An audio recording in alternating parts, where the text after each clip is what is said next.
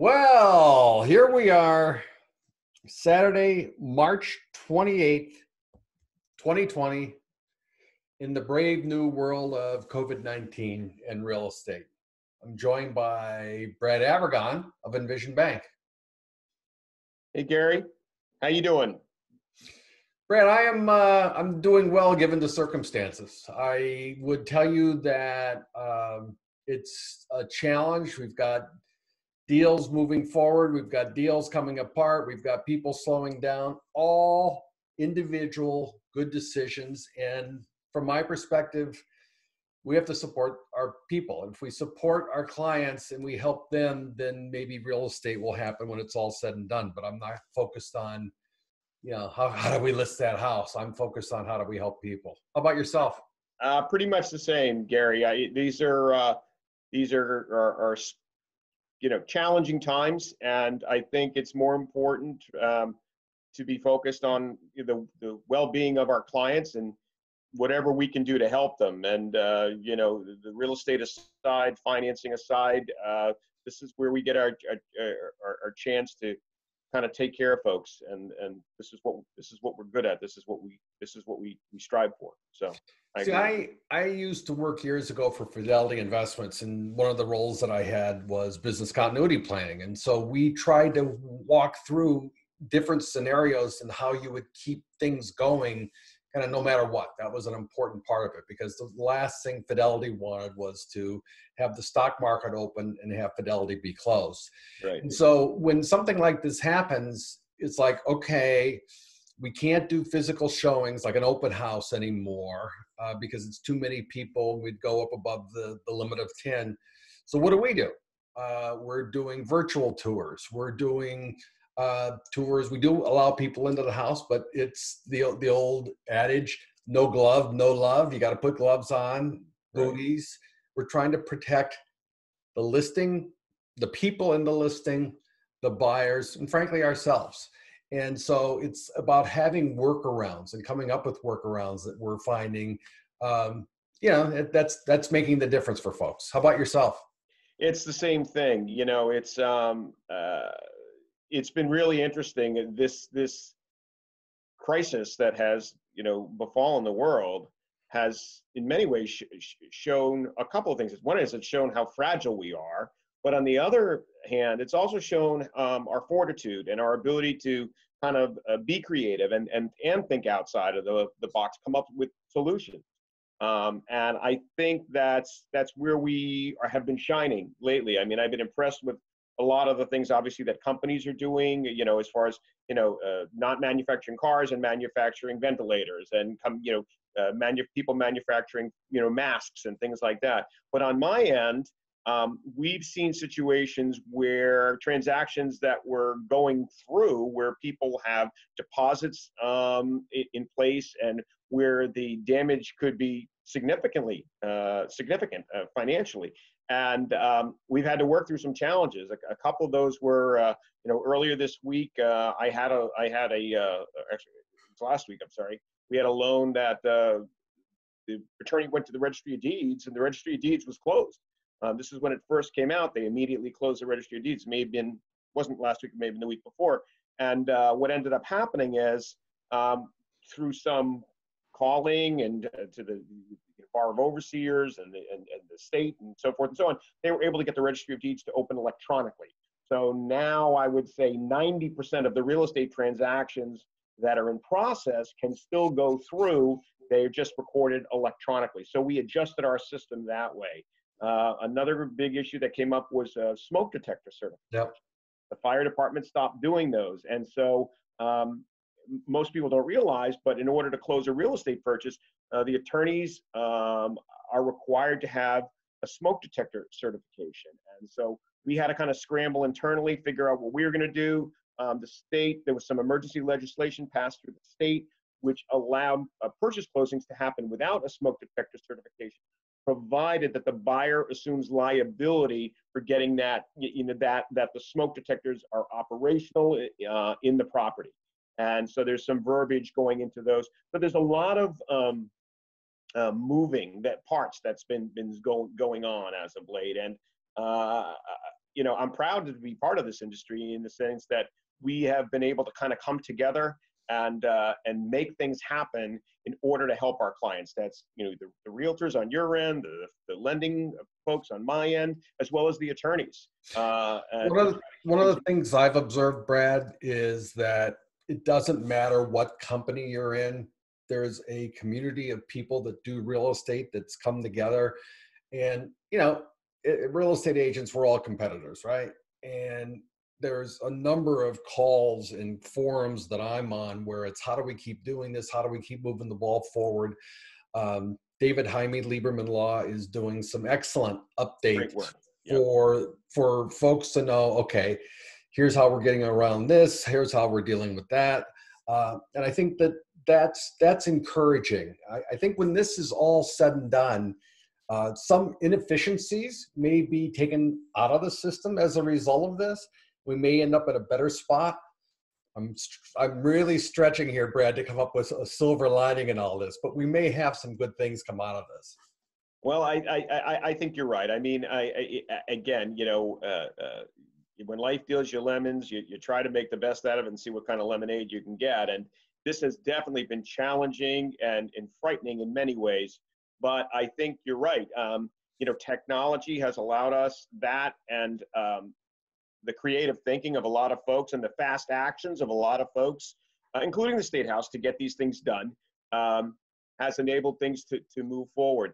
I think the other silver lining is is the the coming together uh, uh, uh of, of of people um, and how quickly that's happened. I, have been very impressed. You know, I mentioned earlier on the companies switching over to uh, to ventilators. Um, I just read today that you know Elon Musk um, of Tesla was successful in delivering a thousand ventilators. I think he threw the switch on it last week, and and that, was that, That's amazing to me. I used to live next door to. Uh, I used to live in Milford in a condo, and I lived next door to a guy that worked for um, the General Motors plant in Framingham. And every right. summer, like clockwork, he had off as they retooled the plant was like two or three months that he was he was not working. Uh, for them to, um, I'm going to say, turn on a dime. I think you know, going from making cars to making ventilators in in a week um, is is phenomenal. And I know that GM and Trump, there's a whole discussion going on right now, and I don't want to go down that path. But the point is the, industries are coming together and seeing what can be done to try to help move the ball forward. And that to me is phenomenal. I couldn't agree more. And and and people giving of themselves to to help you know protect the front line. I, I read someone local right here in Westboro um, uh, made some masks because she happened to go into the grocery store and noticed that the people on the front line there, and again, those people are on the front line, the folks stocking the shelves, the folks bringing the cash registers, all of that, those people weren't protected. So she made some masks and dropped those off. Um, there's a dressmaker in New Bedford, a wedding dressmaker, who took his material that he had, stopped making wedding dresses, and for the last couple of weeks has been making uh, masks. Um, and, and, you know, when you just see, I'm just, I'm, I'm amazed at the human spirit. I'm amazed at the coming together um, uh, and how how people have rallied. And it, it's very um, it's very uplifting because you know prior to this, you, a lot of industries there's a, a lot of internal combativeness. There's a lot of political juxt for position and um, and a lot of self interest um, things going on. This is all about taking care of, of, of the people that are on the front line. This is all about coming together as a, as a, as a, as a people, as a species, and caring for, you know, fellow humans. And I'm, I'm just, it's great to see. It's very uplifting. So that's the silver lining that I don't think other than something like this that we would have seen. The other thing I want to point out is that nature is continuing. The as I look out my window, I don't know if anyone's noticed that you're sitting in Westboro and I'm sitting high atop French Hill in Marlborough, Massachusetts. Uh, as I look out my window, the trees are budding, daffodils are starting to poke their way up. Uh, spring is coming, and I always enjoy spring as a time of freshness and renewal, etc. Um, don't know how long a slog we're in for now, and and you know, is it going to be end of um, early part of April, Easter, May. Not sure when we're going to start to go back to normal, or uh, if it's going to be far longer than that. But my point is, uh, going for a walk outside, practicing distances and all that. It just really, it's a great thing to do this time of year, anyway, and especially now because it it gets you from being inside, locked up, cooped up, to being out and not so dreary. The other, I agree with you. I, I think it's, it's it's so important as your daily practice. I can't, you know, I, have been telling everybody the same. My children, my my, my family, my friends. You you got to have a few ingredients. One is you know, get outside every day. Even if it's raining a little bit, grab an umbrella, go for a walk. Just get some, get out of the house a little bit and get some exercise. It's important to get some exercise to stretch those legs, to stretch those muscles and um, and also keep, you know keep a positive mental attitude try to limit yourself to maybe you know more than an hour of news a day because otherwise you know it really starts to work on your psyche and there's not a lot that you can do about about changing um, what's coming out of the news right now um, so limit that to that. And then you know i've been saying you know eat right make some good food choices uh, at least during the day. And then at night you know you can you can maybe have a little something reward yourself with either a little sweet or maybe a glass of wine whatever it is to just kind of you know relax a little bit try to give yourself some structure. And and most of all you know keep a positive mental attitude. We um we are going to get through this. This is this is you know it's not like something we've confronted before but we have confronted other types of viruses. We've confronted other types of things and we will get through this um, you know as long as we keep taking care of you know people. One of the other things you were talking about silver linings and going for walks getting out. You know it's been funny. So cindy and i uh, walk every day for for about an hour and even though when we cross the other side of the street if someone's on our side of the street we cross the other side of the street we'll make a point to smile and say hello and talk and so neighbors are talking and um, that's you know you're you're hearing about you know people singing uh, i think in boston they were singing sweet caroline right and, uh, and I think it's it's it's great that people are reaching out to neighbors too and checking on them and, and talking to them and that level of communication. I, there's there's definitely a silver lining there too.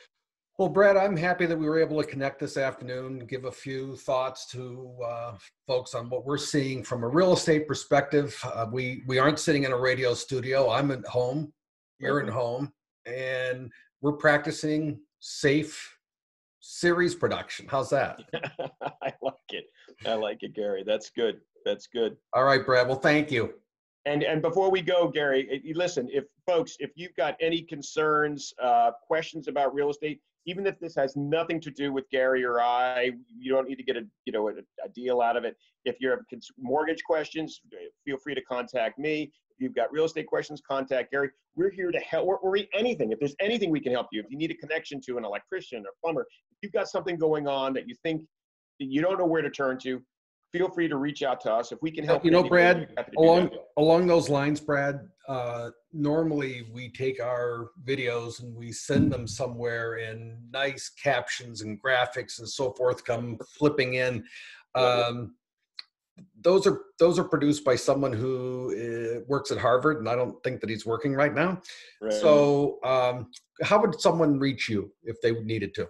So the best way to reach me would be either either email at b avergon, so that's b a v e r g o n at envision e n v i s i o n bank b a n k dot com. So b avergon at envisionbank dot com or by cell phone, which is 978 375 5531. And Gary, what's the best way to reach you? I'm uh, Gary, G A R Y, at movewithgary.com and also 508 733 6005. Thank you, Brad. Have a great day. Be safe, be well. You know, stay sanitized. bye bye.